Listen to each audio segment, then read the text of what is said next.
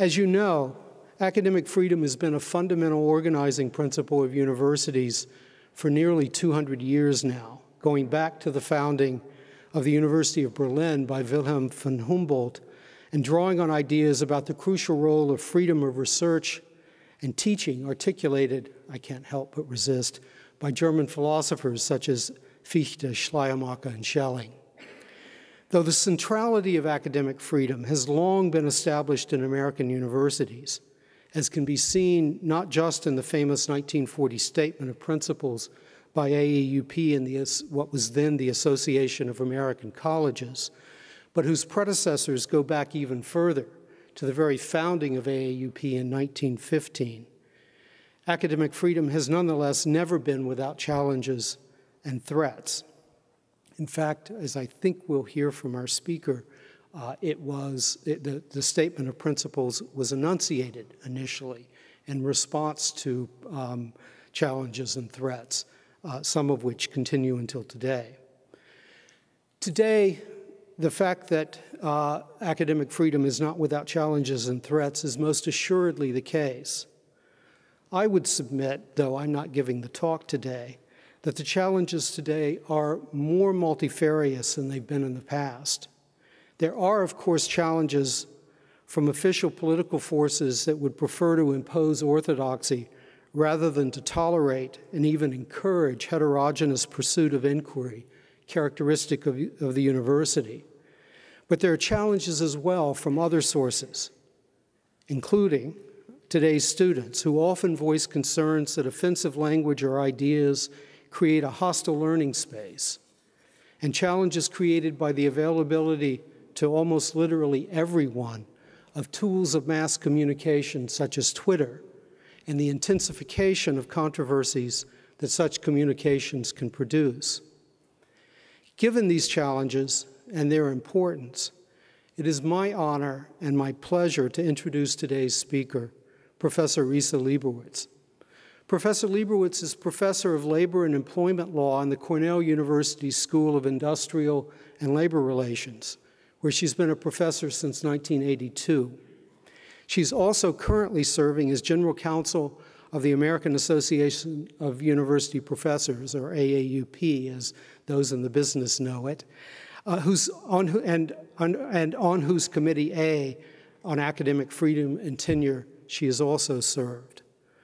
Professor Lieberwitz's publications include articles on academic freedom in the university, as well as articles on labor law and on constitutional issues of freedom of speech in the employment setting.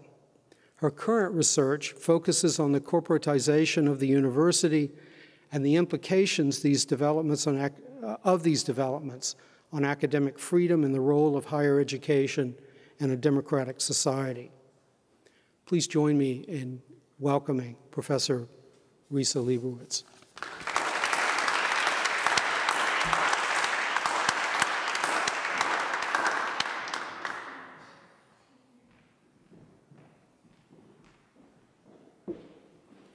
Great, thank you so much. Um, it's a real pleasure to be here, and thanks you all for thank you all for coming. Um, I, would like to thank the provost and the provost office for uh, supporting this. I really appreciate it.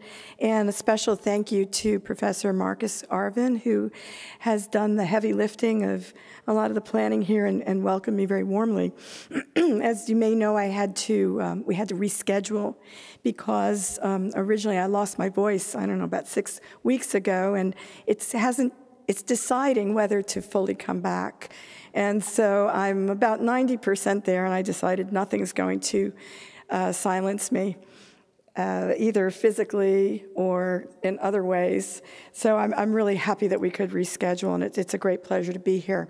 So I'm going to certainly make some remarks and uh, provide some analysis that I hope that you find interesting about academic freedom, but I also look forward to having the chance for an interchange. I mean, the structure here is very much you know, in this setting of me up here uh, delivering the truth uh, to all of you. And I think I have some things to say which I believe are true, but in the, um, the tradition of the university, it's all about discussion and debate as much as it is uh, hearing uh, the quote truth from from whoever is up here. At any rate, so let me just dive in and, and, um, and discuss various aspects. First, let me tell you that, as, you just heard, the issues that I'll address today come from my work as an academic in terms of my research and my teaching, and it also comes from my work as a general counsel for the AAUP. And I'm in my fourth year doing that work as general counsel. Uh, and it's really been fascinating to do both, to continue, of course, teaching and research and doing my own work on campus and faculty governance, as well as working with the national AAUP on the various issues that come up, and uh, we file amicus curiae briefs and do other kinds of work uh, to address these issues. And all of these areas, there's, there are thematic issues that run through my work. As you just heard, some of the things that I work on with regard to academic freedom focus on what's called, been called the quote, corporatization of the university and the institutional trends within university where a, a, corporate model has become more and more prevalent as opposed to a more traditional academic model. And in looking at these institutional trends, we also find ourselves in a current political climate that has exacerbated problems of corporatization and restrictions on academic freedom, both on campus and off campus. And in my work, I look very much at the impact of these institutional and political trends on academic freedom of faculty and the impact on the public mission of the university. Now, just as a definitional piece here, when I say university, I'm just using it as shorthand for all colleges and universities, including two-year institutions as well as four-year institutions. And when I say faculty, I normally will mean all faculty, that is, people who are tenure track, tenured, as well as those who are not on the tenure track, but faculty within the university. And as I go on, I will be distinguishing among these various categories of faculty in terms of the impact on academic freedom. The other thing that I work on in terms of corporatization and various institutional trends has to do with looking at the way that the concept of academic freedom is intertwined with the shared governance model. That is the model which is traditional in universities of governance being shared among different actors, different parties in the university. And so shared governance, including faculty governance, not simply administrative governance. And with the changes in the organizational structures and the labor structures of universities, um, and other political trends dealing with things like privatization, we've seen a, an enormous impact of those trends on not only academic freedom, but also on shared governance. So these are all the issues that I work on, but I will be, and, and I will be bringing all of those into my talk today. And so the overarching idea here, as I'll discuss further in a moment, is the way in which academic freedom, due process, and shared governance are principles and practices that express the values at the heart of the university, that they're central to the identity of the university and to the identity of the faculty. They're central to what it means to be a university and what it means to be a faculty member in a university. That's still true, but with all the trends that I referred to, holding on to that central identity and those central practices and principles are becoming more and more challenging uh, issues. So let me go back to what you've already heard about 1915 and just do a little bit of background on the development of academic freedom. And I'm doing this not simply because it's interesting, it is interesting, but I'm also doing it because I think that looking at the background of academic freedom in the United States and shared governance in the US and universities is it resonates with the kinds of trends that we're seeing today. So moving back to the AUP's founding, the AUP was founded in 1915, just celebrated our 100th anniversary just a little while ago. But it was founded in 1915 in response to the actions of universities during the industrialization period in the late 1800s and into the early 1900s. Um, at that time, it became more and more apparent that individual faculty were vulnerable to the unilateral power of university administrations who hired them and who fired them. And that vulnerability came about at that period of industrialization because during this period, with capitalist industrialization, with the power being concentrated, power and wealth in industrialists, there was a shift from industrialists and business people donating thousands of dollars to universities to donating millions of dollars to universities. And with that increase in donations to, into the millions of donation um, dollars to university came the expectation from those industrialists that the faculty would not bite the hand that was feeding them. Well, fortunately, faculty have always been very good at biting the hands that feed them, and that was true at that time as well. But without the protections of academic freedom and without the protections of tenure and governance, what occurred at that time were some very well known cases of discharges of faculty members um, who at that time were economists.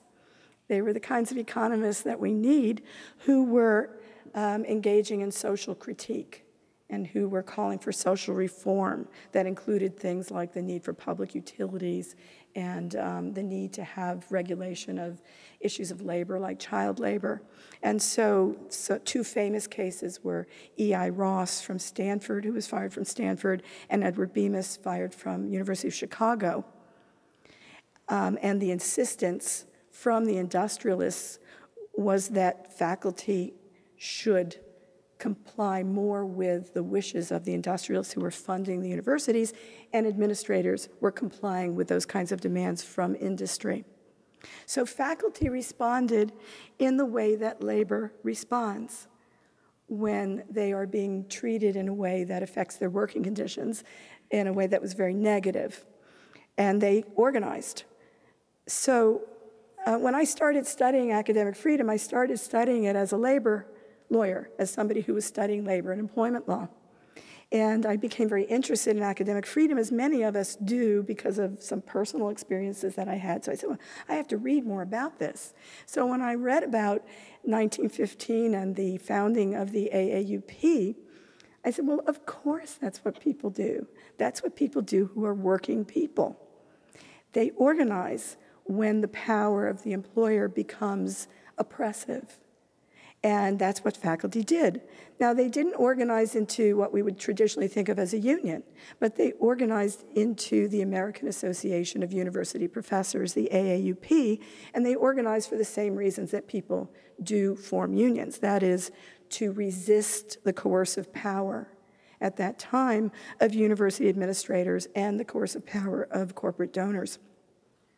So the AUP had a founding document that's called the 1915 Declaration of Principles on Academic Freedom and Academic Tenure, which was a statement that still expresses the collective principles of the academic profession.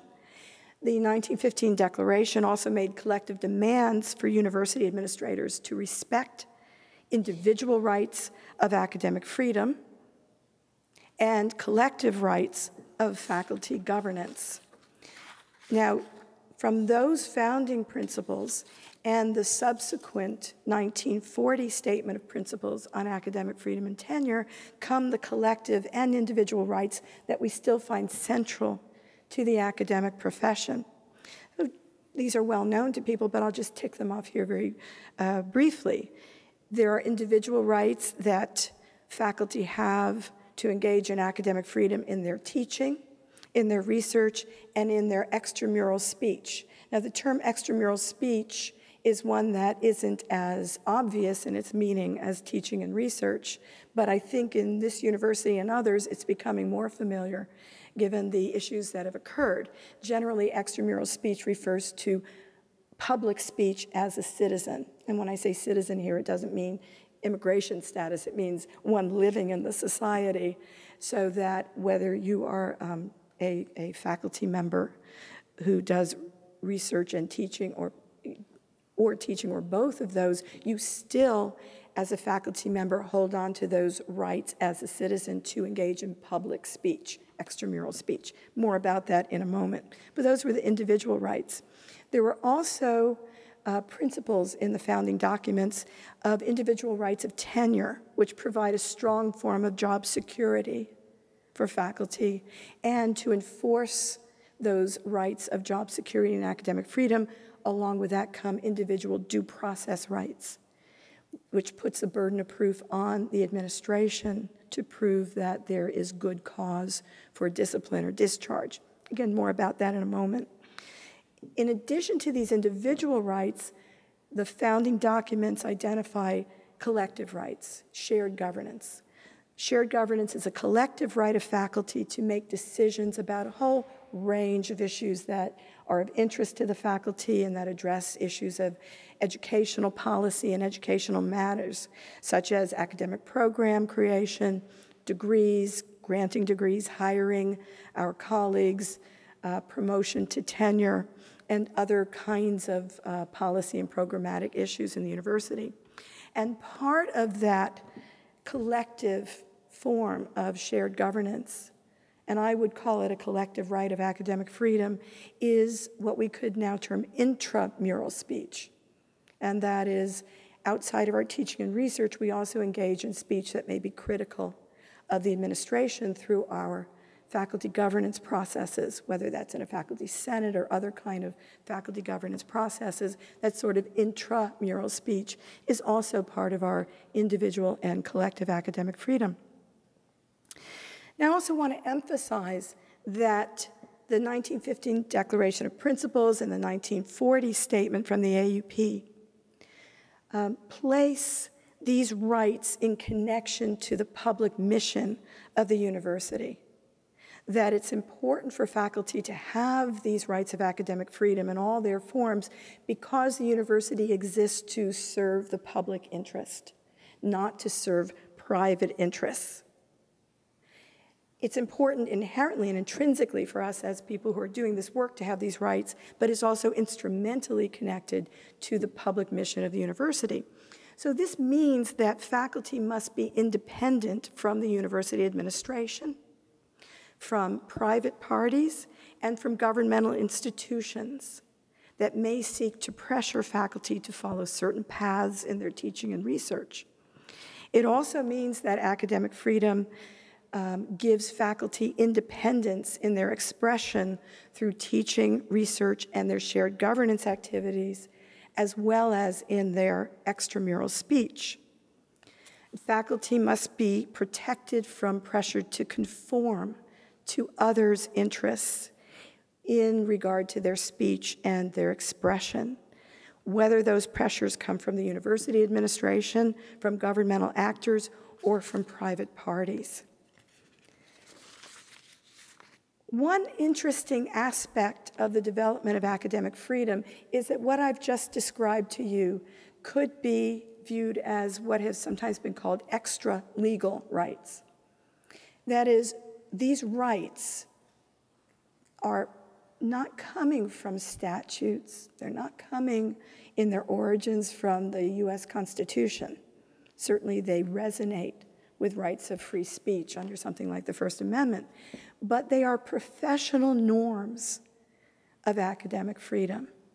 They are professional norms that the faculty have claimed for themselves and that were developed outside of the legal system through the organizational founding and the growth of the AAUP and through the adoption of AAUP principles and standards throughout the profession. These professional norms have a great deal of power they have been strong and they have been lasting. The 1940 Statement of Principles has been endorsed by more than 250 disciplinary societies and higher education associations. Many colleges and universities, including this one, include AUP principles and standards in their faculty handbooks and in university policies. And so, in some ways, these professional norms have their power from this extra legal development. And in some ways, substantively, these professional norms are broader and stronger than constitutional First Amendment rights of free speech that may include academic freedom. And I just want to mention those because I think it's particularly important in a private university to understand where these rights come from and to understand how important it is for us to collectively support these rights, these professional norms. So, first, there's the question of who can claim a right of academic freedom. So, the professional norms of academic freedom apply to all college and university faculty, whether it's the public sector or the private sector. The professional norms cover everyone. In contrast, First Amendment rights of free speech protect faculty only in public universities. And that's true generally for the Bill of Rights, that the Bill of Rights to the US Constitution protects individuals and groups from governmental power or governmental action. And so, as a, a private university faculty member, you do not have First Amendment rights vis a vis the university administration. So, that's an important thing to realize. Now, there's also the question of well, what is the scope and strength of the right of academic freedom? The US Supreme Court has recognized that academic freedom is, as they say, a special concern of the First Amendment. And certainly, if you're in a public university, you can claim a right of academic freedom under the US Constitution as part of your rights of free speech. However, the US Supreme Court, in other public employment cases dealing with the First Amendment, the US Supreme Court has limited the scope and strength of First Amendment rights for public employees. And that has also constrained in certain areas First Amendment rights for public sector uh, university faculty.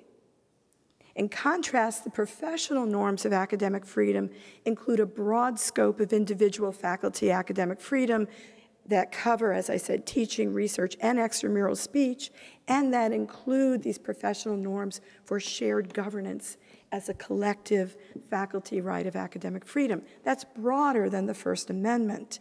And so where professional norms of academic freedom are adopted in university policies, they can become very strong norms and may even be legally enforceable as contract rights. Now, this then leads to the importance of recognizing areas where these professional norms of academic freedom have come under attack.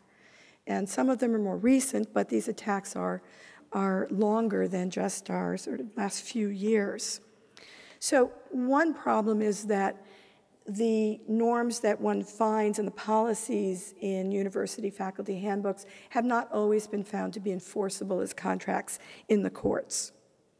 So, if we'd like them to be as enforceable as possible, it's very important to write those policies in ways that uh, bind all parties to implementing and to enforcing policies of academic freedom and foreshadowing where I'm going to go, that tells you something about why shared governance is so important. Right? If we'd really like to have our individual rights protected and enforced, we need to do it collectively. That's not a new idea. It's always been true. If we think about social movements, from the earliest social movements in this country on, they have always come from the bottom up the laws that have been passed, the um, concessions that have been made by people in power, those are always made through demands by, through collective social movements. And so that's true here as well. They come from our collective strength. And that would then translate into those kinds of issues of enforceability of academic freedom as a contract right in courts. There's also been since at least the early to mid 1980s, the continuing changing nature of the profession itself. The changes in the academic profession have made it very difficult for faculty to engage in meaningful academic freedom. And this is where that concept of the corporatization of the university comes in. So there's the really shocking levels of loss of tenure track and tenured lines for faculty, where about 70% of faculty lines in the US now are non tenure track lines. And that is a reversal from around the late 60s, if you look at the 70 30 split. So we've gone from the large majority of faculty lines being ones with tenure track and tenured uh, positions with that strong form of job security to being mostly a contingent or precarious workforce. And of course, that's going to differ depending on which university you are. It may differ depending on which department. But the insecurity in the uh, academic profession has just grown and grown, and it seems to be on this continual trend. And so, non tenure track faculty, contingent faculty face continued economic and professional insecurity that makes it very difficult to meaningful to meaningfully and fully exercise academic freedom. There's been a corresponding loss and weakening of shared governance that comes along with the growing precarity of the academic profession. Um, and this makes it extremely difficult to have the kind of collective power that's needed through shared governance to ensure that universities have a strong internal institutional commitment and enforcement to uh, professional norms of academic freedom. So, as we've become a more precarious workforce, it's weakened our ability in many instances to have strong shared governance because of that precarity. And most recently, we have seen the current political climate that has led to more attacks on faculty speech and academic freedom. And that's where I'd like to turn now to those more recent attacks. We could put those attacks under the general rubric of censorship. And there are different kinds of censorship that have occurred. Some of those have been censorship that have that um, comes from the university administration censoring faculty by imposing punitive measures on faculty, either because the administration may disapprove of faculty speech or because the administration is responding to pressure from parties or institutions outside the university to censor or punish faculty members because of their speech. The other censoring mechanism is also coming from these corporatization issues, where part of corporatization has involved more of a kind of a risk management approach by the university as an institution, more of a fear of being sued, uh, a fear of poor public relations that may come out of acting like a university and having heated debate and controversial issues. And with that kind of corporate mentality, it moves away from the focus on principles of academic freedom. So I'm going to, as you can anticipate, refer to what happened at University of Tampa, and I'm sure that everybody in this audience knows more details about this than I do, but I'm going to just address some of the points that come from my own reading um, of, of this issue. In August 2017, here at University of Tampa, the university discharged Dr. Kenneth Storey, who was a visiting assistant professor of sociology, because of a tweet in which he suggested that Hurricane Harvey was, quote, karma for Texas because it had voted Republican. Now, the AAUP wrote a letter to the University of Tampa administration expressing concerns about the university's failure to protect Dr. Storey's academic freedom and his due process rights. And so we're going to get into that link between academic freedom and due process. So some of the key points here about these, these issues uh, that were raised in the AUP's letter was first that the reason for dismissal in this case raises a very serious issue of academic freedom. As the letter uh, explained, Faculty members have the right to speak and write as citizens free from institutional censorship or discipline, that issue of extramural speech. And the letter pointed out that this is a policy that exists in, in writing at the University of Tampa itself. The AUP letter also raised the point that the administration dismissed Dr. Storey without, ha without having first demonstrated cause, adequate cause, in a faculty hearing, and that this lack of a hearing was at, is, at fundament, is fundamentally at odds with basic standards of, as we call it, academic due process. So, what does that mean? Academic due process comes from AAUP standards that state that if an administration seeks to discharge or impose other serious discipline on faculty members, that the university administration must follow basic standards of due process. This includes notice of charges as well as a hearing before faculty peers. So, shared governance includes faculty peer determinations about um, uh, discipline and whether the administration has carried its burden of proving cause for discharge. This faculty hearing would result in a recommendation to the administration. And the expectation is that the administration will follow that recommendation or provide the faculty hearing panel with its reasons for not following the faculty recommendation. And key to proving adequate cause is that the administration must prove by clear and convincing evidence that alleged misconduct occurred and that the administration must show that the conduct that it proves demonstrates that the faculty member is unfit to serve as a faculty member. Now, in the case of Dr. Storey, the AAUP standards protect academic freedom and extramural speech and set forth the due process requirements that should have been followed. And now what I'm going to read to you is the language from the AAUP's statement from 1964 on extramural speech, which has been incorporated into the 1940 Statement of Principles, and which you can find in your faculty handbook here at University of Tampa and that is with regard to extramural speech, and now I'm quoting.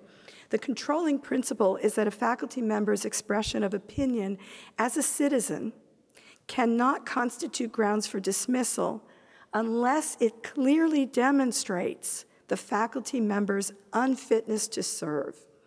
Extramural utterances rarely bear upon the, upon the faculty member's fitness for continuing service. Moreover, a final decision should take into account the faculty member's entire record as a teacher and scholar. And the AAUP letter to the president of University of Tampa noted that the faculty handbook here at the University of Tampa explicitly endorses the 1940 statement and contains this statement that I just read to you about extramural utterances. The AAUP urged the administration to rescind the notice of dismissal that had been issued to Professor Storey and to rescind that immediately and to ensure that any future actions are consistent with the standards that we, I just referenced here. Of course, as you know, the outcome of the case was that uh, Dr. Storey resigned and that the university rescinded the dismissal. Um, it's good that the university rescinded the dismissal, but unfortunately, we have an individual faculty member who was not able to continue in his position. So now I want to give you some other recent examples that show this serious problem of disciplinary action that has been taken against faculty for their extramural speech. And of course, as you all know, a lot of that has come from extramural speech on social media whether it's Twitter or some other form of social media. And what we see here when we look at the cases is a pattern of punitive actions by universities against faculty for their speech that deals with issues of racial inequalities.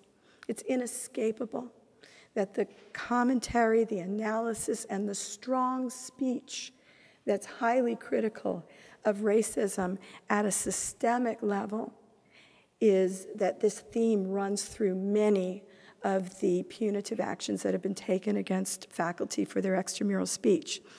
This speech has been viewed as uh, controversial, I think because it goes to those sort of systemic issues, but often, as one expects to see in social media, the speech itself is quite deliberately grabbing people's attention. It's oftentimes satirical or ironic in its commentary, and it grabs people atten people's attention and it places it on these systemic issues of inequality that include issues of racism and sexism and, and other forms of systemic inequality in the United States.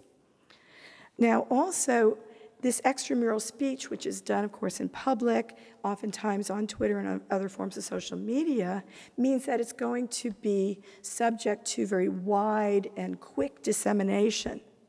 And the technological changes uh, that have enabled the speech to be disseminated so quickly and so widely has often drawn targeted harassment from the public, including, again, this is uh, an inescapable theme here, including vicious threats of violence. Now, any threat of violence is, is obviously a problem but the kind of viciousness of these threats, including, uh, you know, threats that people should be lynched and, you know, other forms of, of just really um, frightening, really terrifying speech that engage in, you know, racist uh, threats of violence, homophobia, um, terrible hostility towards women in various forms, and the way those inter, interweave has, has really been shocking. Um, and this kind of targeted harassment also has been accompanied in many cases by pressure from outside parties for the university to discharge or discipline the faculty member. Um, so in addition to the incident that occurred here, there are some other very well publicized cases. I'm just going to mention a few rather than go through a very long list. But one of the well-known cases was Professor George Ch Cicariello Mayer, who is a, an associate, he was an associate professor at Drexel University, um, and he uh, made some statements that dealt with issues of racism in ways that were considered extremely controversial and inflammatory, and because of that, he was placed on a uni, he was placed unilaterally by the administration on a paid leave. Um, and oftentimes, with those kinds of suspensions or leaves, administrators will say we're doing this because of problems of safety. And so the expressed concerns about safety can translate into uh, actions being taken against the person whose safety we should be concerned about. Um, in this case, um, there was, again, a, a, quite a large public outcry not only against the professor, but also, fortunately, in these cases, there's a public outcry in defense of the professor. AAUP wrote a letter to Drexel University. There were other colleagues who came to um, uh, the academic um, colleagues' defense, but unfortunately, what happened here was that Professor Cicariello Mayer uh, resigned his position because of the kinds of threats of violence that were continuing to be uh, brought against him from the public. Another well known and well publicized case was of Professor Johnny Eric Williams, at Trinity College. Again, he was placed on a unilateral leave. Oh, actually, I, I misspoke in um, the Drexel case. This was a unilateral suspension. In uh, the Trinity case, case, it was a unilateral paid leave. Again, the AAUP stepped in with a letter to the university. Um, and in that case, uh, Trinity College uh, investigated itself after the outcry with regard to the suspension of the faculty member who again had, dress, uh, had addressed issues of race and racism. And the university changed its position and uh, recognized that Professor Williams had academic freedom, which should have been recognized. So we can see that collective responses, again, were very important to protect the faculty member.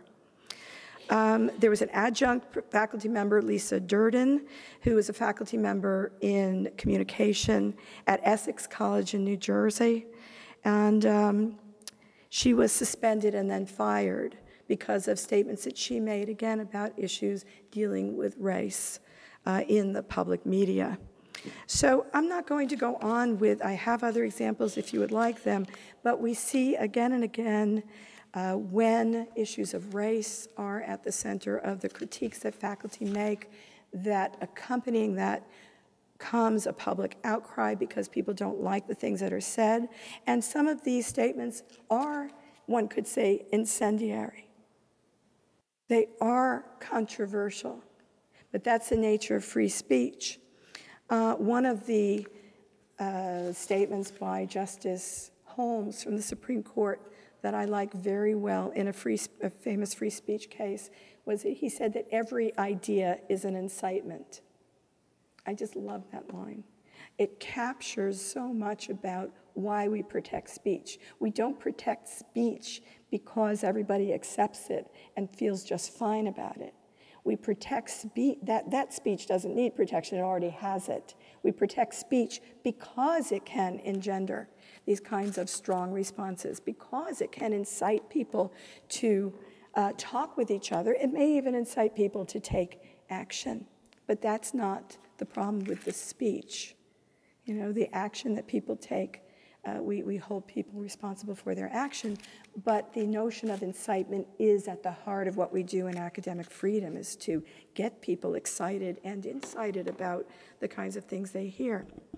Now, there, there have been um, at least some other examples that have come out. I just want to briefly um, cite one from Syracuse University, where the university administration came forward strongly in protecting a faculty member who had made statements that outsiders felt were um, um crossed a line in being too controversial. And in that case, the uh, chancellor of Syracuse University, Kent Syverud, stated that he would not denounce or dismiss the professor for her tweet. He said, We are and will remain a university. Free speech is and will remain one of our key values. I can't imagine academic freedom or the genuine search for truth thriving here without free speech. Our faculty must be able to say and write things, including things that provoke some or make others uncomfortable up to the very limits of the law. Uh, so that's an example of what we should expect from our administrators. And I would just add here that in addition to some of the punitive measures that have been taken by administrators, another problem has been a pattern of some administrations and universities saying, well, we recognize academic freedom, but we find the speech by this faculty member to be reprehensible or to be something we don't believe in. And so it's a very tepid or lukewarm statement in support of academic freedom. All right, so what are the harms that come from violations of academic freedom and due process that has occurred in these examples and in, in, other examples? Well, first, of course, the individual faculty member whose individual rights were violated, that person is harmed. There's harm to that person's career. There's harm because they've been threatened um, in, in many cases. And there's a huge impact on their personal and economic conditions. But there's also the chilling effect that occurs. It instills fear in other faculty and can encourage faculty to engage in self censorship from the kinds of situations where they see faculty under attack and perhaps not supported by their administration and even punished by their administration. And this kind of chilling effect emboldens right wing harassment of faculty, including these threats of violence. This flows from the university's failure to defend faculty academic freedom, from universities who fail to condemn targeted harassment and threats against faculty you know, this doesn't mean that we're compromising on free speech. Free speech can be quite vociferous when people object to what a faculty member has said. We all recognize that. But when it crosses the line into threats of violence against faculty members, this is where we expect our colleagues and our administrators to step up and defend against these kinds of right wing attacks. Um, Professor Ciccarello Mayer wrote about this. He said, by bowing to pressure from racist internet trolls Drexel has sent the wrong signal that you can control a university's curriculum with anonymous threats of violence. So, now, what do these examples reveal about the necessary conditions for meaningful exercise of academic freedom? And I have a list here, and I just want to go down them because I think we need to learn from this and to say, what do we want to do to make sure that the conditions on the ground enforce and encourage academic freedom? So, number one, we have to have a strong commitment to academic freedom by our universities, by our university administrations, and from faculty, including adopting policies with AAUP standards defining academic freedom broadly and deeply in the ways we just talked about it. Teaching, research, and extramural speech, as well as speech and shared governance. And this faculty commitment is as important as the administration's commitment. We have to be willing to step forward about that. We also need university and faculty commitment to requiring procedural due process to any faculty member alleged to have engaged in misconduct. And this brings in that essential link between academic freedom in speech and expression and academic due process. The procedures themselves support and enforce those substantive aspects of academic freedom that are so important. Having due process protections deters administrators from even bringing charges, which could be intimidating in and of themselves, just the charges. Because the nature of the due process is that no disciplinary standards, or excuse me, no discipline should be brought without a strong basis in evidence that there's faculty incompetence and unfitness to serve. That is, that can be proved. And at the hearing, as I said earlier, the burden of proof is on the administration to show unfitness to serve through clear and convincing evidence. The controversial nature of speech in any of its aspects of teaching, research, and extramural speech or, or governance is never a valid reason and never a valid basis for disciplinary charges or disciplinary action. And once again, it's the controversy, it's the heated debate, it's the offensiveness that may occur through speech that are central to academic freedom and to the universities being able to function as a university.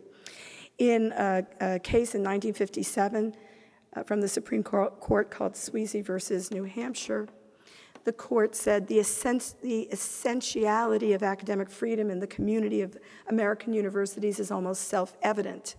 In the Keyishian case in 1967, Keyishian versus Board of Regents, the Supreme Court said, Our nation is deeply committed to safeguarding academic freedom, which is of transcendent value to all of us, and not merely to the teachers concerned. So now I want to emphasize the link between not only academic freedom and due process, but the links among academic freedom, due process, and shared governance. We must have strong shared governance because this creates pressure on the university administration to protect academic freedom of faculty. We must have collective governance in order to create university policies and to adopt university policies that protect both academic freedom and due process. This holds the university administration to not only creating and adopting those standards, but following those standards, because as a collective, we will protest, we must protest if the university does not follow those standards. Now, I know we have at least one administrator in the room and possibly more. And so when I talk about pressuring the administration, um, I hope you're good with that. I mean, the nature of being an administrator, right, is that you got to take the heat. And that's the nature of collective protest, that when you're in a position of power in the administration, you should expect collective protest from the faculty and from students when they think that you're not doing something that, um, that you should do, and certainly here when it affects their rights. So, of course, the way to, to avoid that conflict is to sit down and negotiate. and reach agreements.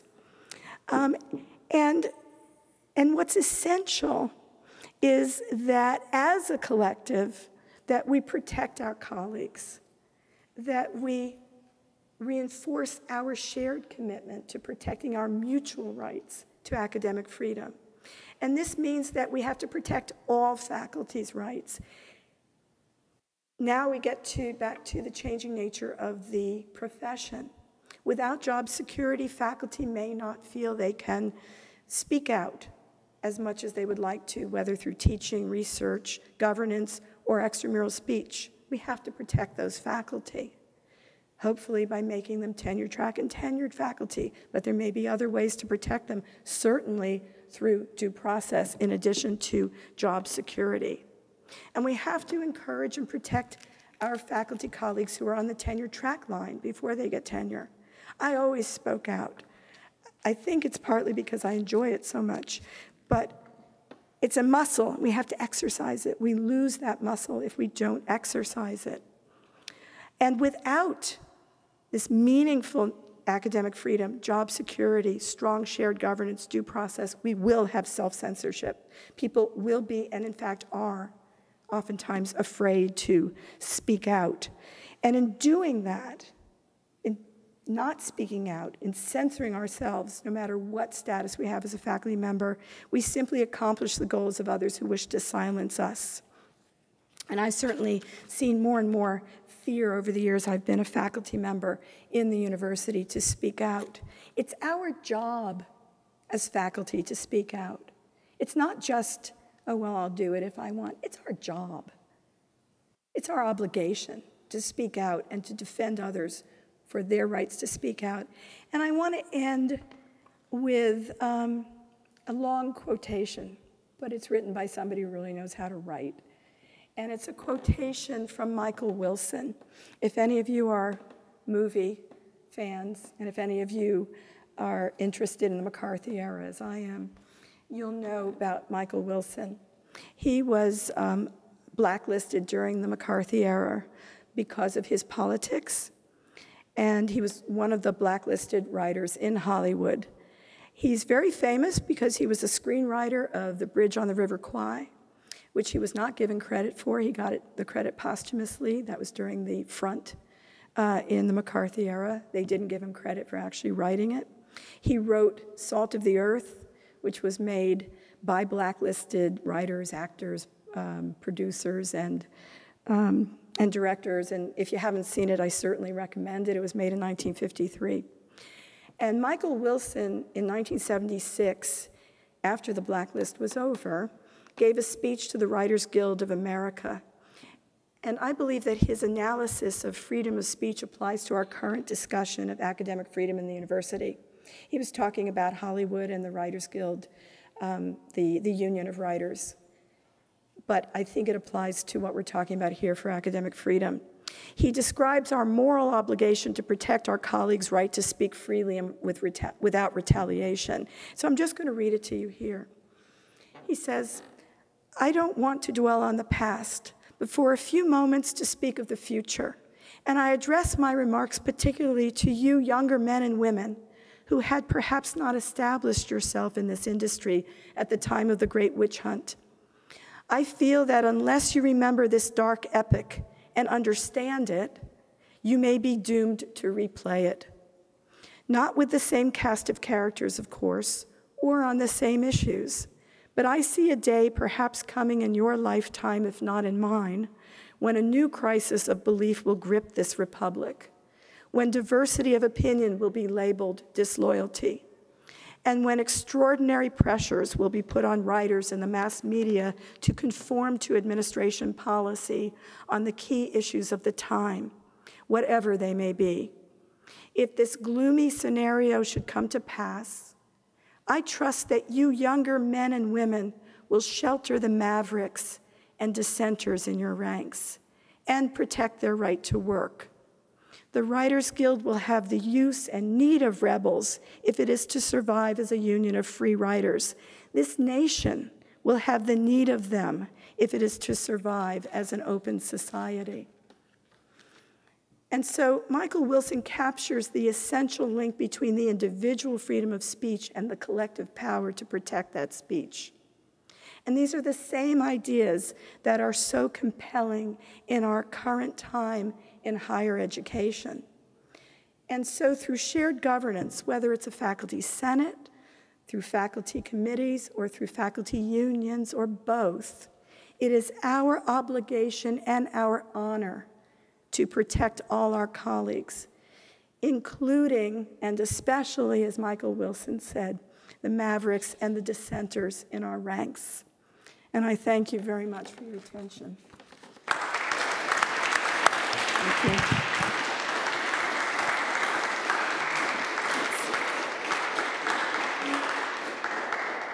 Okay, we now have some time for questions.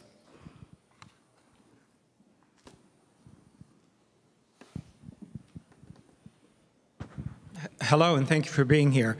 Um, I was, was, concerned that uh, Charlie Kirk of Turning Point USA, which uh, sponsors the Professor Watch List, was involved in getting Kevin Storey fired from the University of Tampa. Um, are you aware of any uh, work being done by Turning Point USA to limit academic freedom at American colleges and universities? Am I aware of, work that they're doing? Yes, Charlie yeah, well, Kirk. They're, yeah, they're. Um, I'm certainly, as you said, the watch list. You know, is an attack, and um, I don't. I don't have any other specific things to add. But I mean, it stands to reason if you look at that professor watch list that a whole lot of things are being done. And you know, the good news about some of this is that we can find a lot of information just by you know uh, doing research on it. But these kinds of organized right-wing groups have different names. Turning Point is one of them, but we see it, you know, in different forms in different places. Um, and so I'm sure there's coordination that's being, that must be done among, among various groups. Well, early on, um, Charlie Kirk tweeted about uh, Professor Storey's tweet that had to do with uh, Hurricane Harvey. And it was picked up by townhall.com, which is the uh, largest subscribed to right wing website on the internet, and they, run an, they ran an article against Kevin's Storey. And the University of Tampa. And I know I wasn't at the, I know that uh, our provost, Dr. Stern, went to the Senate and explained how inundated the administration was with emails and phone calls. And uh, I wasn't at the Senate meeting, but I did listen to the audio tape. And I was concerned that this was an orchestrated effort um, to um, harass the University of Tampa uh, to the point where they fired Kevin Storey, and they did. I know they, that they rescinded it. But uh, uh, the outcome was Kevin Storey is gone. Mm-hmm. And uh, Turning Point USA, Professor Watchlist, uh, Charlie Kirk, uh, townhall.com, they succeeded. Mm-hmm. And we, our administration, gave them a hand uh, for their success. I think enabled them to succeed. That's well, these clearly are orchestrated, you know, actions, um, and and something I've been thinking about a lot that applies here, but also applies elsewhere in other forms of higher, in other you know institutions of higher education, but also more broadly, is how much we're on the defensive now. And I say we, meaning those of us who believe in things like uh, higher education, like public goods to people, uh, whether it's insurance or um, health care generally, or people having enough to eat, you know, all, all these kinds of basic needs, including free speech and expression and the role of universities in, in the United States, and also labor rights more generally. Because to me, collective action, collective organizing is collective organizing, whether it's in the form of a union, whether it's in the form of a Senate. Collective action is collective action, and some of it's stronger and some of it's less strong. And we've been so much on the defensive that I think what we also have to do is to say, how do we join together to be on the offense? And I think one of the ways to be on the offense to say, you know, there's a whole lot coming at us, and, and all we're doing is battling this and this and this and this kind of attack on basic rights and basic principles of living in a democracy. I think is to say, how do we turn it around and take an offensive position? And I think that university administrations can be part of that. And that's why I quoted uh, the, the lines from the statements from the chancellor at Syracuse University. That was a principled stance. It took some courage, but it was essential because we lose if we don't do that. We just simply lose. And we lose our heart if we are always on the defensive and always afraid about orchestrated attacks. It's just like, back off. You know, back off. Our faculty can say what they want, and if it crosses a line into something that is actual misconduct that reflects on their competence, we can take care of it. But I think that the right wing attacks know that many universities run scared. And so we need to stop doing their work for them and to see an alliance between the administration and the faculty and the students.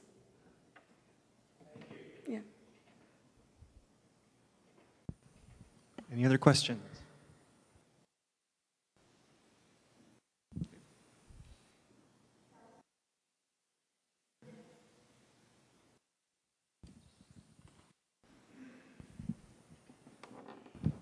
Hi.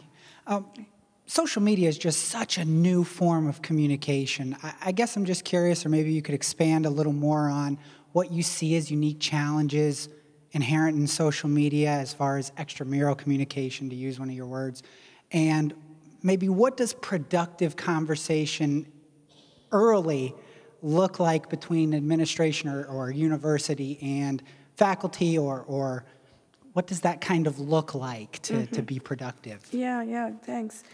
Yeah, I think you raised two very important questions within that question. I think they're related.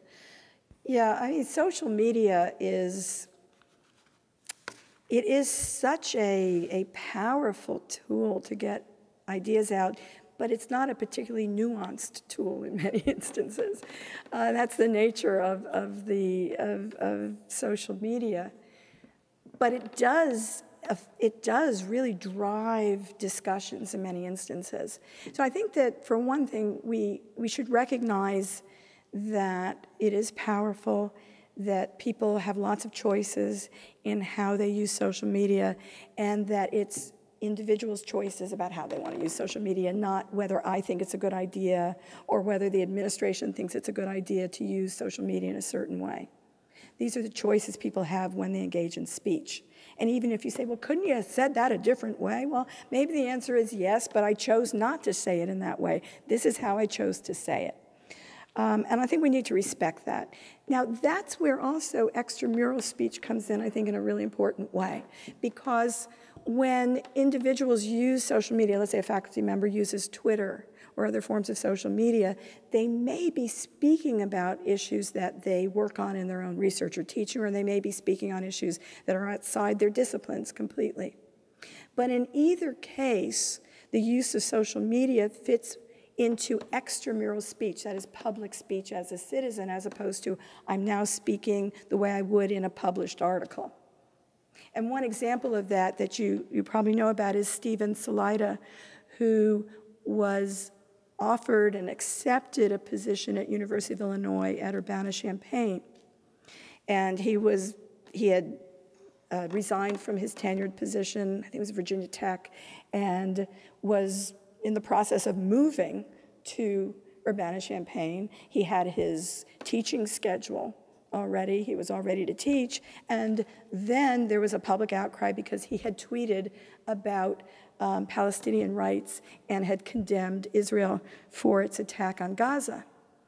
And because there was a lot of public pressure from um, uh, different sources, the university administration, the board there, the Board of Regents, um, rescinded the offer. They said, oh, well, he isn't really an employee because we haven't yet decided it was a rubber stamp that the board would use to say, well, you get the job, you know, after you've been offered the job and you've already moved there. Oftentimes that was where the rubber stamp came from the administration. But they said, oh, we haven't yet approved this, so we're not approving your coming.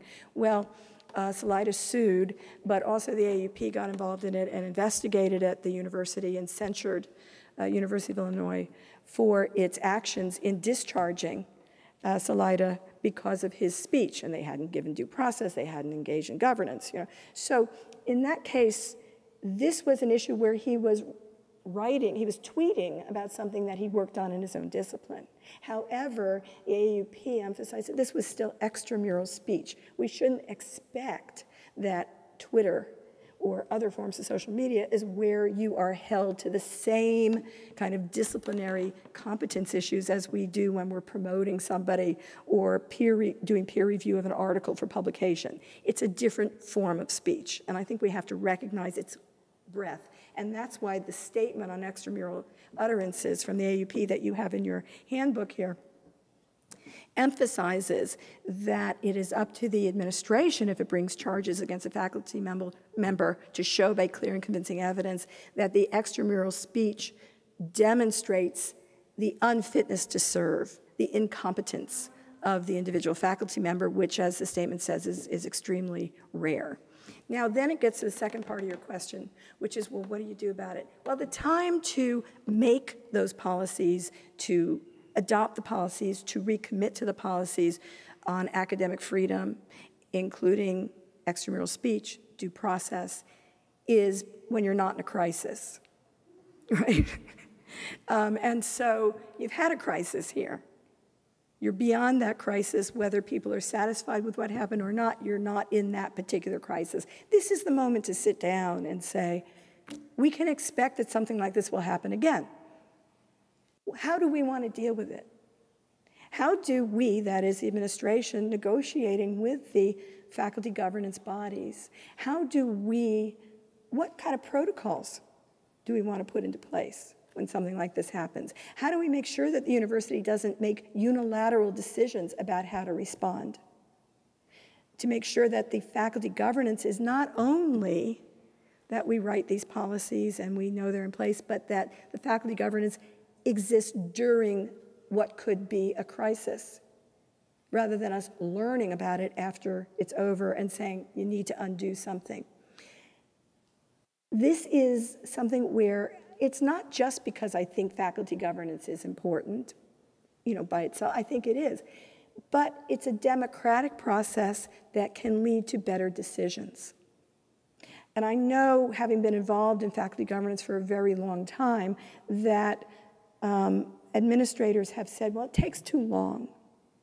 You know, it's slow having faculty governance involved, and we feel that we can't act efficiently. Well, democracy actually does take a while. But in times of crisis, we can also have protocols for how to act quickly in a way that doesn't simply put unilateral power into the administration. And given the kind of publicity that occurred around the incident that happened here, I don't think that was a particularly efficient or quick way or satisfactory way to deal with it. I read the, um, the editorial in the Tampa Bay Times, which excoriated the administration. Uh, so I don't think that was particularly good for public relations or for efficient or fair decision making. So, in fact, doing the work ahead of time to put these protocols into effect will be more likely to lead to better decision making.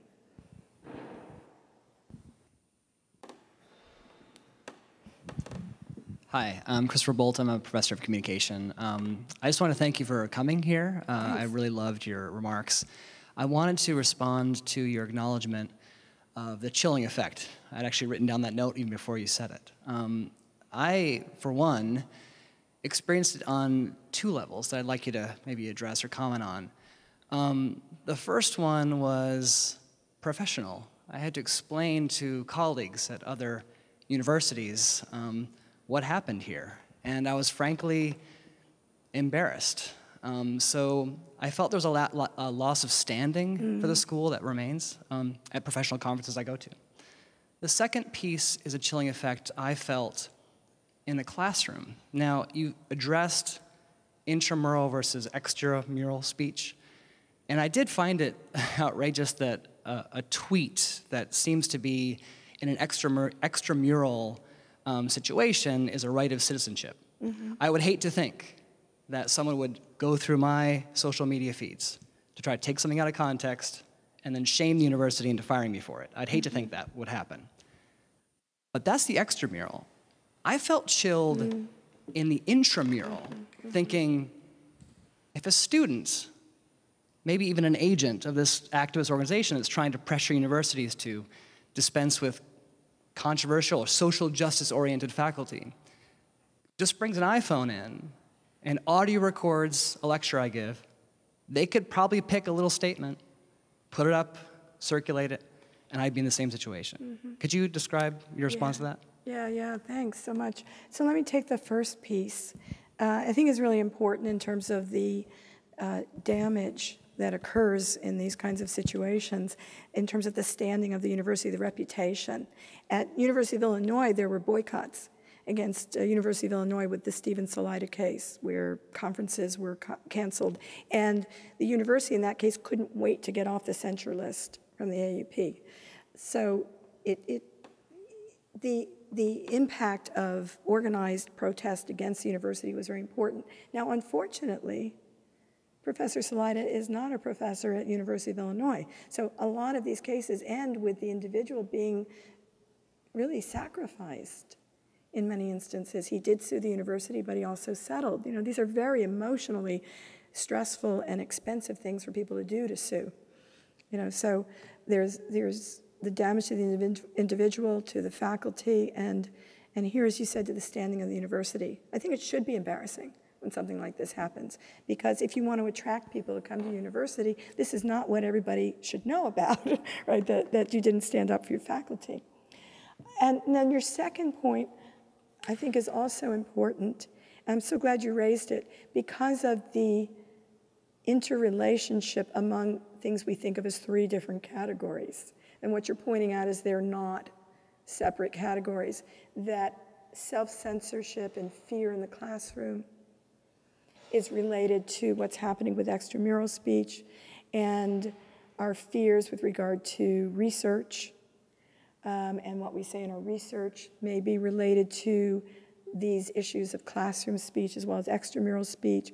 Our fears about job security may then also act as a self censoring mechanism in all of these.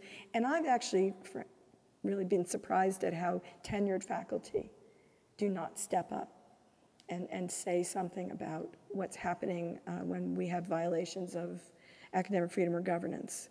You know, and again, like I said, it's that muscle. And the idea that, well, once I get tenure, then I'll speak out is very rare. You know, Kurt Vonnegut said, I think it was in the novel Mother Night, he said, beware of who you pretend to be because you may end up being that person. You know, you've got to exercise that muscle. So this notion of self censorship and fear, I think, is the biggest problem. I think it's the biggest problem. I know I censor myself all the time. Now, I don't censor myself as much as other people, but you know, if, if people say, oh, well, you know, you're so biased for labor and blah, blah, blah, you know, in my classrooms, I think you should hear all the things I don't say, you know, um, because we're, we're, all, we're all engaged in that because I think we're so much under the microscope, right? Um, and I think it's a huge problem, and our students are being hurt by it. We're being hurt by it. The universities are being hurt by it. This is really damaging. And that's where I think the collective comes in that those lines of Michael Wilson of sheltering the mavericks and the dissenters under our wings is essential. It must be done collectively. Um, and, you know, I don't know how else to do it because it's so important that we know that our faculty colleagues have our backs and that those who are in disagreement with us on our substantive views also have our backs. You know, I've done much, I've done better and sort of more, had more successful relationships with people who I consider simply honest conservatives than I have sometimes who are, you know, with people who are perhaps liberal but not willing to speak out. So we really have to have each other's backs to do this. And, and I think, again, this is where governance comes in. I don't know if I've, I mean, I can't give the answer to your question other than to say I think it's real. And, and I think we should acknowledge it and then act again back in that offensive to say that we, we believe in these issues. Hi. I really appreciate your level of perspective on this, and I have two questions. Uh, one's very brief, and one probably not. So, um, a lot of people put on Twitter, for example, tweets are my own or not affiliated. Could you speak to the effectiveness of that, uh, if if anything like that um, tends to work? My I imagine that it's hard to find cases where that's the case. And my second question is um, for staff as an unprotected and often overlooked um, class, if you will, what role would you would you mind speaking toward the role of staff in this process? You mean staff broadly defined or? Yeah, well, academic staff, uh, staff, uh, you know, for for example, um, I've, you know, I've got a PhD, I do research, I teach, I'm interested, but I'm staff. So although I may, may be qualified along the same lines and some of the same interest levels, what I do is not tied to a faculty line. So for, that's my mm-hmm. personal interest, but there are other corollary uh, staff members all over, instructional staff, uh, you know, mm-hmm. other areas like mm-hmm. that who may have an interest in supporting this but may not have an active role. Okay, great, thanks, yeah. Uh, so on the first question, yeah, these sort of disclaimers, I'm speaking for myself. You know, my own personal view of that is I don't, I, I don't think we should have to have disclaimers. When somebody writes a tweet and they're a professor, let's say, or a faculty member at a university, I don't think anybody in the world thinks that that professor is tweeting on behalf of the university administration. I just don't think so. Um, and so I'm very wary of imposing requirements on people to say this is my own speech and not the university's. And I've seen the universities say all kinds of things on behalf of the university administration, and they never disclaim that there's, you know, they never say, well, we're not speaking for all the faculty members because sometimes they put out, you know, positions that I completely disagree with, right? But I know that, you know, they're speaking for the institution and not specifically for me. But I think it's even stronger that people understand if a faculty member says something that they're not speaking for the, the university. So, you know, I don't put a lot of stock in them. And plus, I think that it's a way of, again, silencing people because there are all kinds of spaces where you speak out. And it would be so artificial to say, now I'm saying this for myself and not for others. You know, it's, it's an artificial kind of an obstacle. So that's, that's my own view on it. But in terms of staff, I think you're, you're raising some very important questions, and, and I think it links to that issue of, you know, non-tenure track faculty as well, is how to organize, right? How to get protection. So as I said in my talk, you know, I think that all faculty who have greater power, like tenured faculty, should work to protect everybody who has a faculty position, no matter what the title. And I would extend that to academic uh, professionals as well. The AAUP uh, includes all academic professionals as well as people on tenure track lines, people on non-tenure track lines. So I know you have an AAUP chapter on campus, and I would encourage people to become part of the AAUP chapter on campus as well as being involved in governance. And again, that's that collective action to say, well, individually, we don't have the same kind of power we have collectively. And I would also say that uh, unions are something for people to consider. Now, for tenure track and tenured faculty to unionize in a private university ha has some obstacles in terms of rights to unionize because the um, Supreme Court in 1980 in the Yeshiva University case basically defined tenure and tenure track faculty uh, in, in private universities. Most of them would be in so-called managerial positions without rights to unionize under the National Labor Relations Act. Now, but we organize all the time. We have shared governance, we have academic freedom, so we're the most protected, even without a union, to be able to organize. In the public sector, faculty are organized at many campuses because they're working under public sector laws. But for um, non-tenure track faculty, for staff, I know I'm, I know I'm in Florida. I do know that. I grew up here. So I, I know something about uh, views about labor unions in, in the South and elsewhere. Um, but for staff and for non-tenure track faculty, unionization is something that is not only collective, but it has power because if people unionize under the law, this obligates the employer to collectively bargain with them. Now, of course, I'm sure you know that in public sector universities in Florida, that they've been unionized, the faculty has been unionized for many, many years. And so I think that that is one way people get protection, is by organizing in different ways. And unions are one of those ways to organize that I think can be very effective through collective bargaining and having a collective bargaining agreement.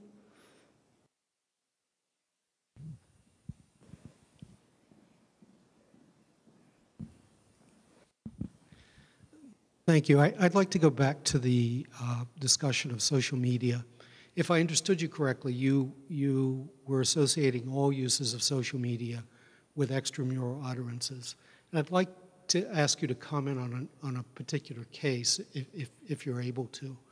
I'm thinking of the case of, I, I, believe his name is Tommy Curry, a professor of philosophy at, at Texas A&M, whose podcast uh, became uh, uh, to use the word that you used, uh, incendiary. And uh, the university tried to distance them, mm-hmm. themselves from those podcasts, treating them as something he was entitled to do, but his private, uh, his private mm-hmm. activity. And his response was, No, you don't. You hired me to do this work. In effect, you hired me to be a public intellectual using social media as one of the tools. How does that complicate mm-hmm. uh, the, the, the, the, thinking that we need to do about mm-hmm. social media? Mm-hmm. Yeah, so, um, you know, I'm familiar with the, the case, uh, not in any kind of personal way. I was, I've not been involved with it, but it, it, you know, it is a case where, you know, just in terms of, of kind of filling in some of the, the pieces, though you described it nicely, um, so Professor Curry is at Texas A&M University, and he had this older podcast interview from 2012, um, and that uh, interview became the focus of a piece in 2017 about him. The piece is called "The American Conservative." I guess that's the um, the magazine that, that published it. So there was a piece about him, and um, it, it dealt with issues that where they drew from some of the things that he said in the podcast about what does it mean to actually have liberation for black people in the United States. And, you know, he talked about uh, issues about whether in liberation struggles that some people may have to die. And so um, I actually haven't read the pieces myself, and so I can't really talk anymore about what he said, but I don't think it really matters because um, it seemed quite clear that his speech fits within protected speech under academic freedom, and I don't think that you're arguing against that. I think you're asking, well, does it matter how we categorize that and how people self identify in terms of, of what they're doing? So it seems to me that, number one, the university's response was inappropriate whether you categorize uh, Professor Curry's speech as extramural speech, or whether you say, well, it's extramural speech, which kind of overlaps with, um, with his speech as a professor within his discipline. No matter how you categorize it, it's within academic freedom, and I think that the university's response was inappropriate. They said that they found his statements disturbing and reprehensible. And fortunately, colleagues collectively spoke out against the university for their for the university's quote anemic support for Curry, and the president did issue a second statement dialing it back a little bit by focusing more on issues of academic freedom. So it does show that collective action works. and it can be protective of, of our colleagues. But in terms of your question, I think that sometimes lines can be hard to draw. And sometimes they're not hard to draw. Sometimes, like the, the Salaita tweet is easy. You know, it's clearly extramural speech, even though it was about his discipline, right? Because of the nature of the, the speech. There might be other instances where you'd say, well, is this only extramural, or is this actually something that's more in the person's kind of disciplinary work? You know, his, the work that we judge him on as a colleague. So I can't really comment on it in this particular case. I haven't looked at it closely enough here. But there may be some instances where we're not completely clear about what it is. Let me go back to that in a second. But the way that I think about it is do we hold extramural speech to certain kinds of professional standards in the same way that we hold a published article? If I sent my tweets to be published in an academic journal, I don't really expect that they're going to take that seriously and send it out for peer review, right? Um, so I think we can pretty clearly distinguish between certain types of speech that we say, yeah, this is part of your disciplinary work, this kind of body of work, and work that we say, well, this is just part of your public speech, whether it's public speech on campus, where you're making a speech, let's say at a rally or in a talk of some kind that isn't really a disciplinary speech, we can oftentimes tell the difference. But sometimes maybe you could argue, no, even though it's less formal, it's still part of your teaching and research in some ways. But that's fine because it's still protected under academic freedom. It still has um, the, the kind of broad and deep protection that we're calling on for extramural speech. And if there is to be any kind of action taken against a faculty member for the speech he makes in any of these areas, there's still the obligation under due process for the administration, if it wants to take action against the person, to show by clear and convincing evidence that the person's uh, speech made them incompetent. So I think the standards are the same. And perhaps in some instances, exactly where to draw the line may be difficult. But I think we hold on to those same strong standards.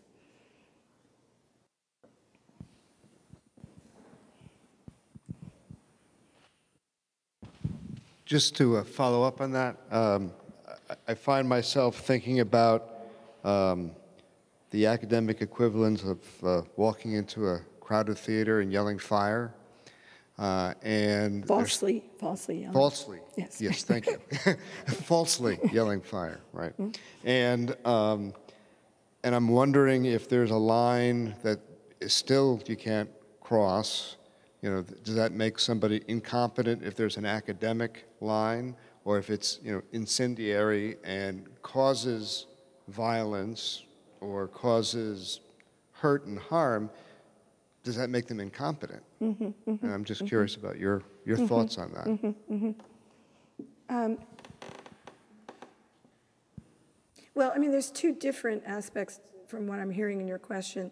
You know, one is, I think generally, how, what, what is, what, how much proof does it take? How much evidence does it take to show, let's just deal with extramural speech now, to show that extramural speech actually demonstrates a person's unfitness to serve. You know, there isn't a formula for that. We talk about clear and convincing evidence, which means that that's more than a preponderance of evidence. That's the quantum of proof. But how do we know when it actually gets to being that level of incompetence? Not even because it's, and, and it's not because it's incendiary or inflammatory or offensive. That's not the basis on which incompetence in one's job is shown. You know, that's simply tone. Right? People say things that make someone else mad. It can also be content, makes somebody else mad because they really don't like what you have to say. That in and of itself does not show incompetence to continue working. There has to be more to show that you are truly unfit to be a faculty member. And as the extramural statement says, these are rare instances they should, we should expect that they're rare because the, another uh, phrase that I like from the US Supreme Court about free speech is that it needs breathing space. Right? If we define speech too narrowly, it doesn't have the breathing space. Where if we're going to draw lines, we need to draw them wide enough so that we protect even more speech than perhaps might be protected under certain definitions. So I think that in general, that breathing space is, is, very, is very important for certainly the AAUP standards. Now, your piece about, you know, your question about speech causing harm, you know, that in and of itself is, is not necessarily true, right? If I say something to a crowd and the crowd says, well, we really agree with what she said, now we're going to go take action. Generally, we hold people responsible for their actions. We don't hold the speaker um, responsible for people being persuaded by the speaker. Under First Amendment law, there, are, there is a line, and I'll just use the First Amendment definition as an example. It's, it's from a case called um, Brandenburg versus Ohio. So again, it's a constitutional question. And um, this was a case where it was a Klan rally, rally and the um, I forgot which you know grand whatever of the the Klan was up there saying really just horrible anti-Semitic and racist statements. I mean, they were you know disgusting. Of course, we know that, but the Supreme Court said that this is not criminal. That the the speaker, for saying horribly racist and anti-Semitic statements could not be criminally prosecuted because the standard of incitement to act unlawfully that could be the basis for prosecuting somebody is that um, the speaker's statements um, may cause imminent unlawful action and that the imminent unlawful action is likely to occur. So, both in terms of the nature of the statement, but also the closeness of the statements and unlawful action is what you look at.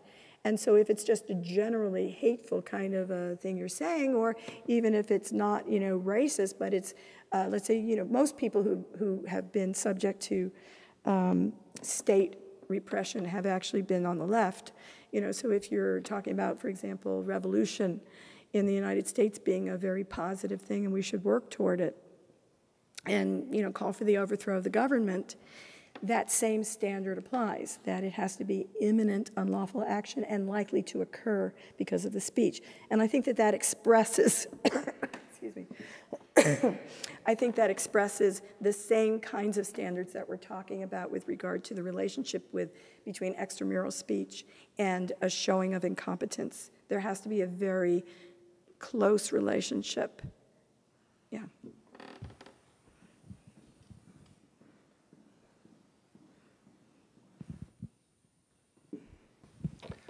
Um, I just wanted to follow up on that and take it a little bit to an extreme. So, what happens in that case that you were just talking about with the grand wizard of whatever he was? He was a grand wizard. Um, yeah.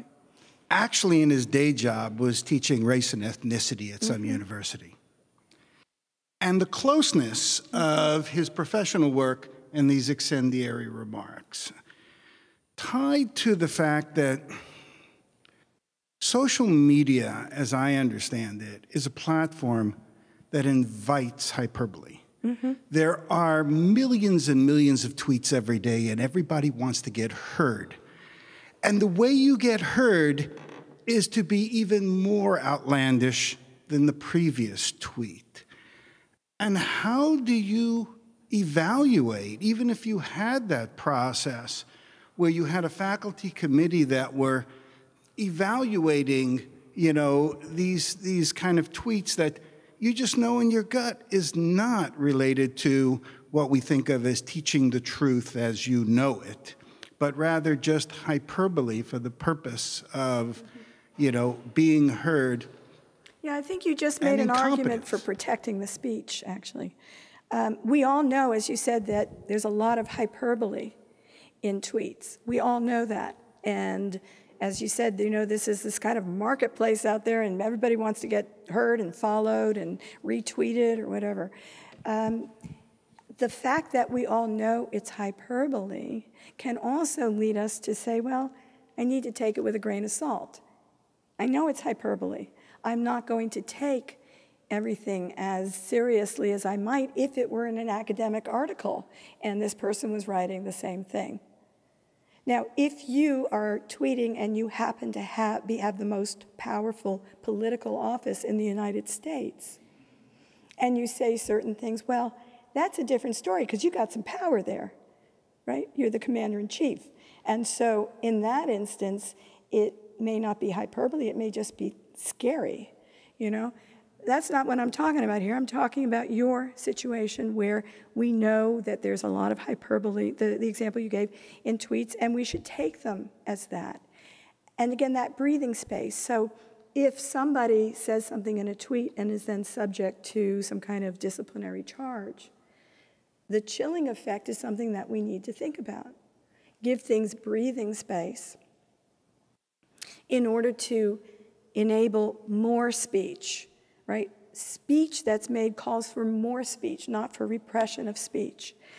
The university administration and faculty are not, um, you know, they're, they're not, they, they don't have to be silent. I criticized Texas A&M for what it said about Professor Curry's speech. And, but I'm not saying that the administration had no, let's say, right or power to say that. I just think they were wrong. So if you put some speech out there, you have to expect that you will get a response to it.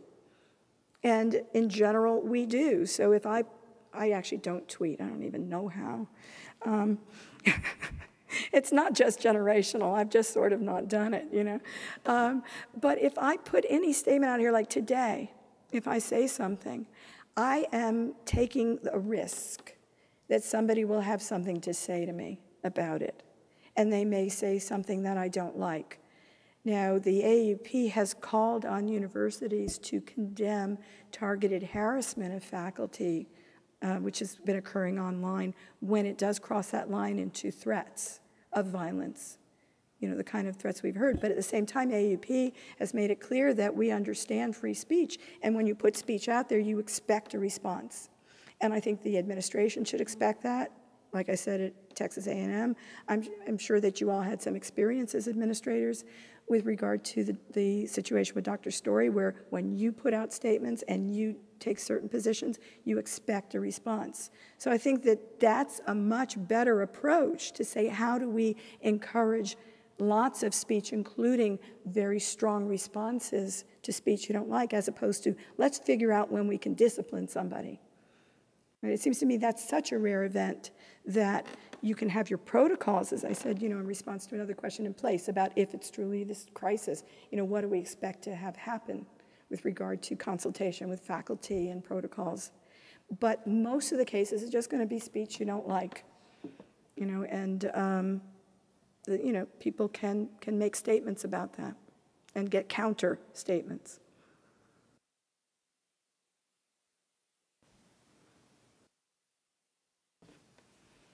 Well, if there are no further questions, please join me in once again thanking uh, Professor Thank. Thank you very much. Thanks.